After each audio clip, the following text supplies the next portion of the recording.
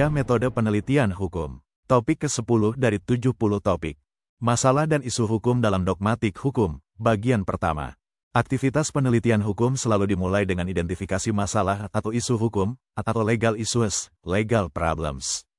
Identifikasi masalah atau isu hukum berfungsi menentukan tujuan yang ingin dicapai oleh penelitian hukum yang dilakukan.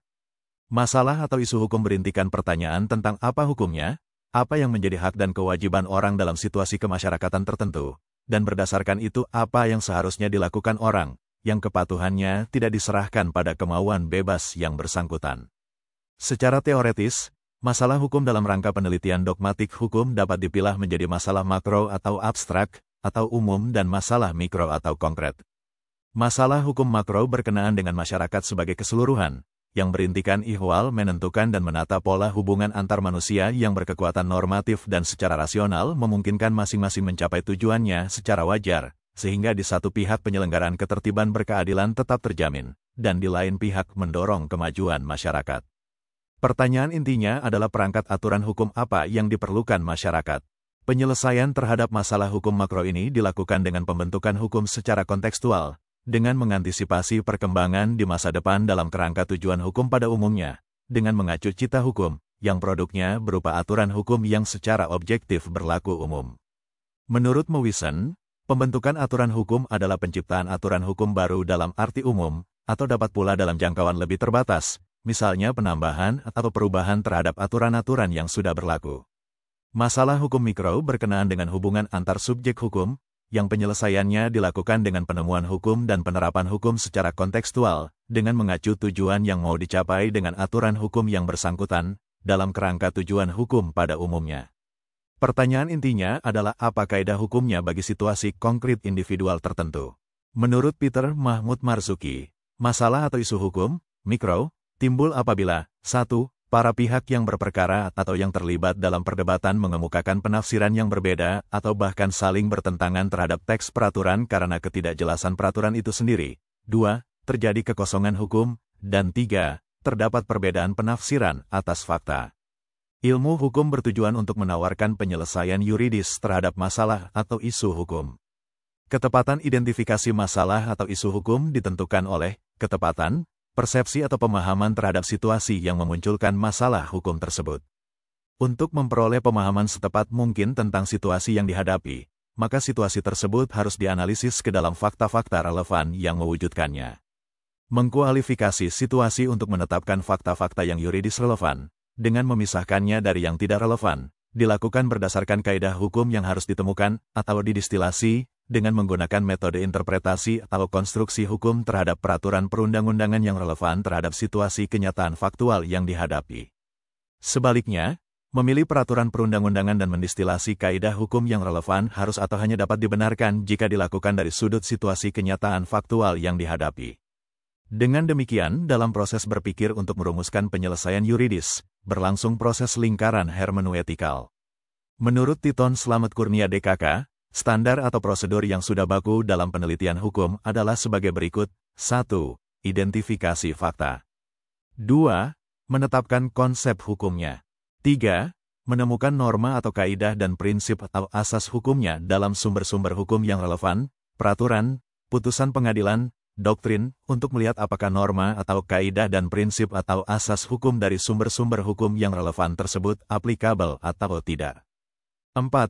Jika tidak aplikabel maka metode yang digunakan ialah penemuan hukum, atau rekat finding, untuk menetapkan apa yang menjadi hukumnya atas isu hukum yang sedang ditangani. Dengan demikian, yang pertama kali harus dilakukan oleh peneliti hukum adalah mengidentifikasi apakah situasi yang dihadapkan kepadanya merupakan masalah atau isu hukum atau bukan. Meskipun suatu masalah yang dihadapi merupakan kasus konkret, belum tentu di dalamnya terdapat isu hukum. Tidak dapat disangkal, ada kalanya suatu kasus bukan merupakan masalah hukum tetapi seakan-akan masalah hukum.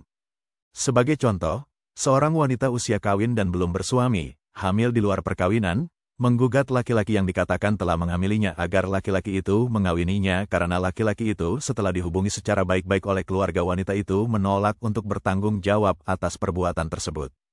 Sekilas tampaknya masalah tersebut merupakan kasus di bidang hukum perkawinan.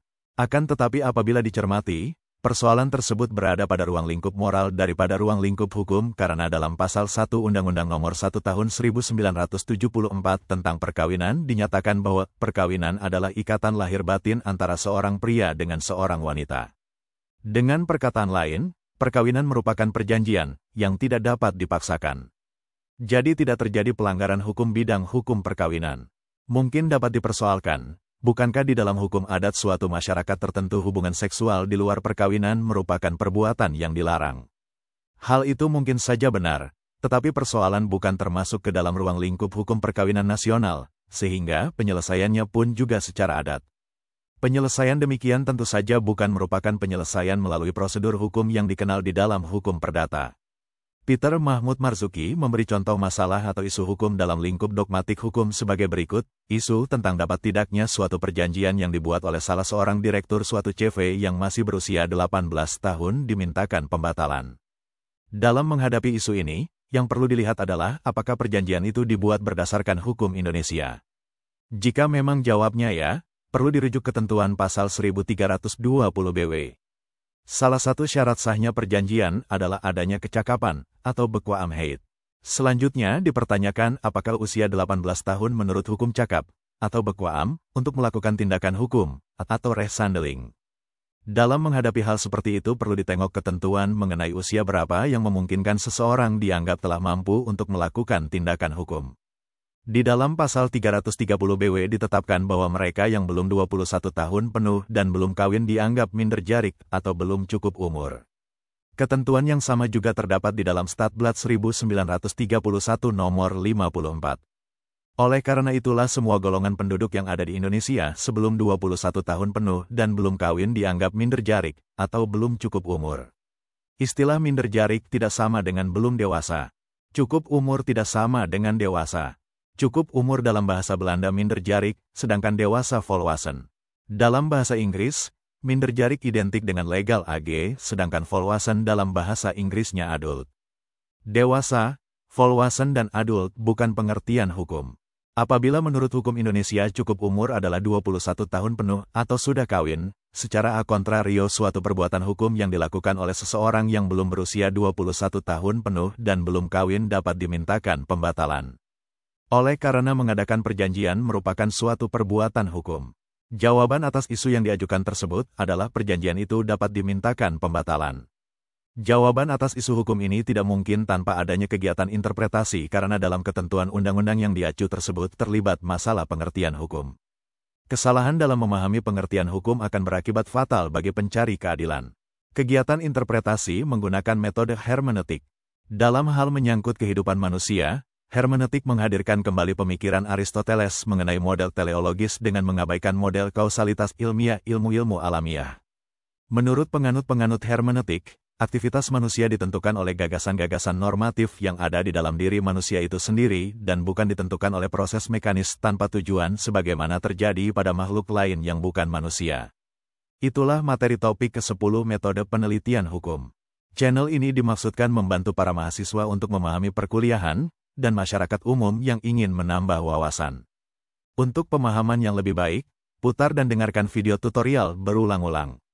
Subscribe dan like, agar Anda mendapatkan update tutorial lainnya. Bagikan link video ini agar teman-teman juga mendapatkan manfaat channel ini. Sekian dan terima kasih. Sampai jumpa.